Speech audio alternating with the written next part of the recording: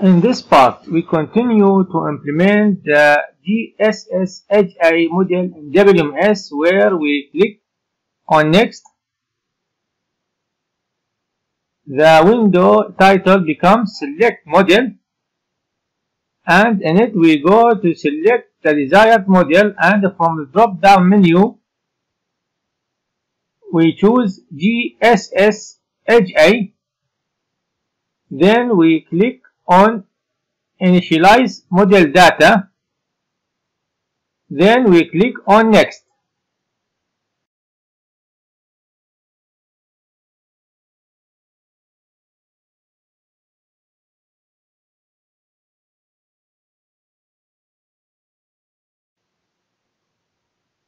The window title becomes define and smooth streams and in this window there are several steps that can be taken for divine and smooth streams. And these steps can be performed or done as shown here in the PDF file.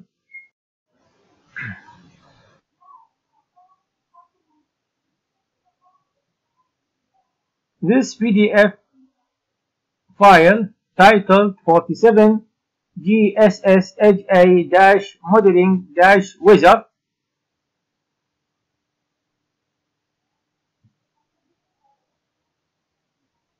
where these steps start from the nine paragraph entitled defining stream channels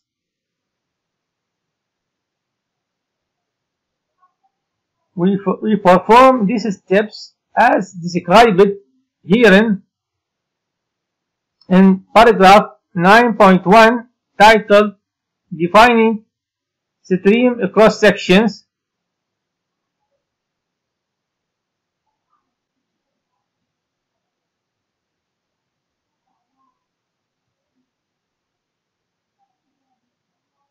And paragraph 9.2 is titled Smoothing Stream Salvage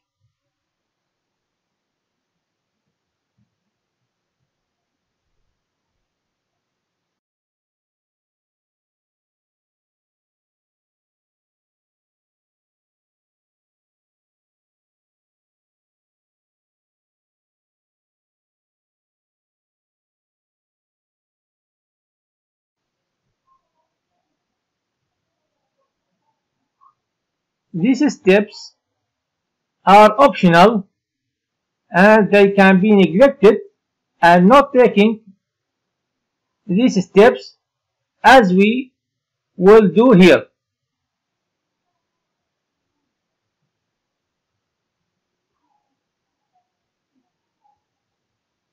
Where we go directly to the next step where we click on next.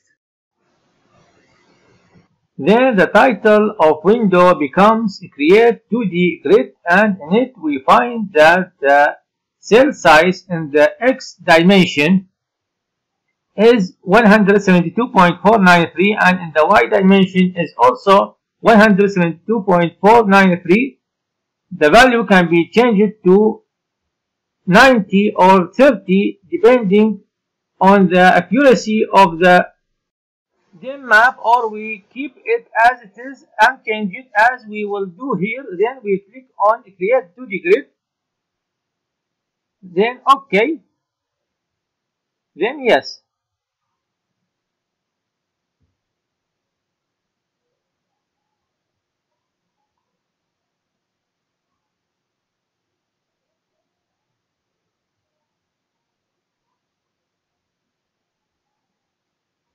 then we click on next.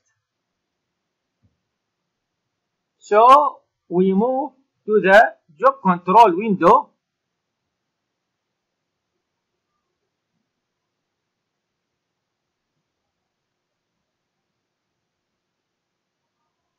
In which we specify a starting date and choose 1 1 2000 and we set starting time at 12 a.m. and we set ending date where we choose the year 2014 then the seventh then the seventh month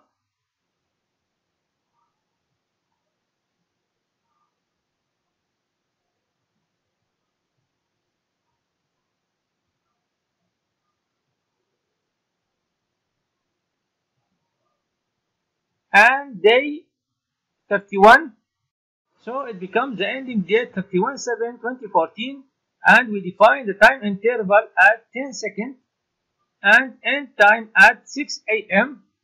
Then we click on set job control data.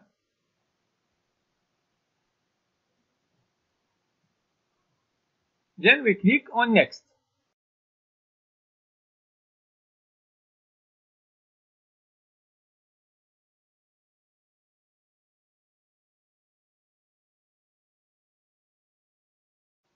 So we move to the define land use and soil data window.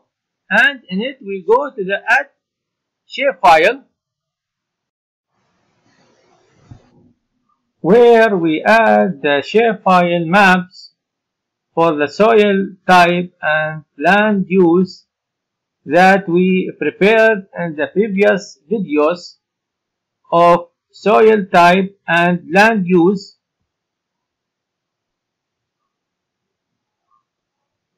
where we click on add shapefile and we go to the following path computer uh, partition F desktop importance 6 GSS Edge A globe cover USGS LULC 2009 version 2.3 column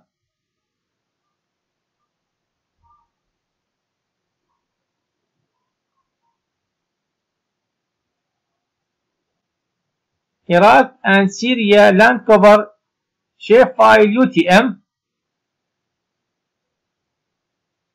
Iraq and Syria land cover UTM.SHP. Then we press open. A map of shapefile for land use will be opened for the study area. In the, in the type field,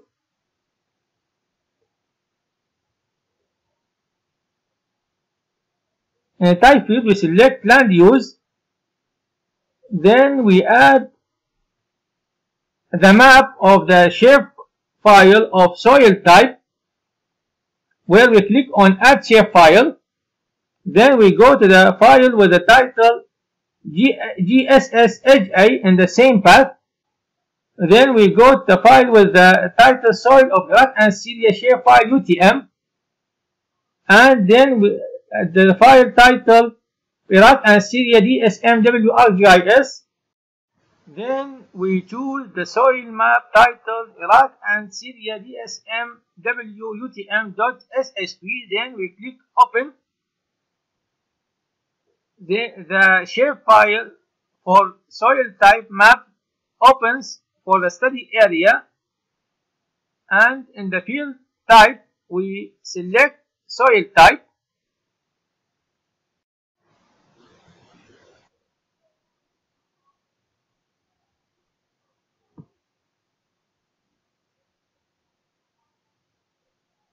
Then we click on create coverages.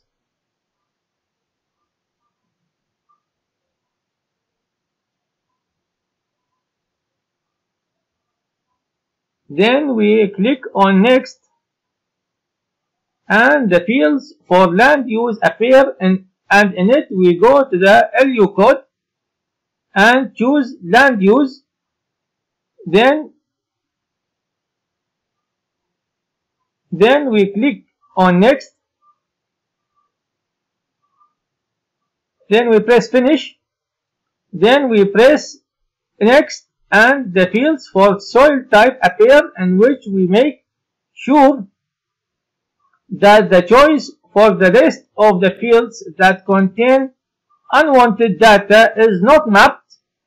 As for the fields that contain the required data, we choose what suits them. Where, where in field title HYDGRP, we choose SCS soil type. In the, in the KSAT field, we choose hydraulic conductivity. In the moisture field, we choose initial moisture. In the field cap field, we choose field capacity. In the wilting field, we choose wilting point. And in the texture field, we choose texture. Then we click on next, then finish.